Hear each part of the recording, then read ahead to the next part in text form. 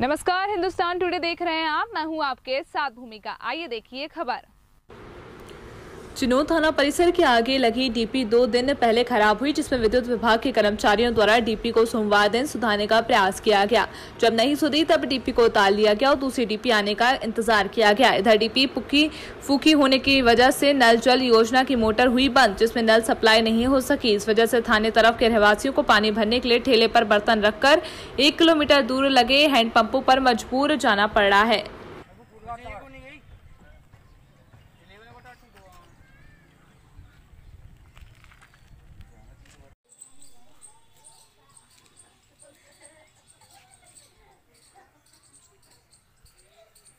क्या नाम है संतोष। कहाँ जा रहे हो बर्तन लेके? पानी भरने के लिए। क्यों आपके नल नहीं आते क्या? वहाँ पता नहीं है लाइट खराब है क्या मोटर खराब है? क्या दिन से? दो तीन दिन हो गए।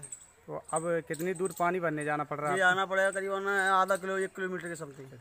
तो क्या ये ही नल चली हुई ना की मोटर है और कितने लोग प्रभावित हैं इससे लगभग?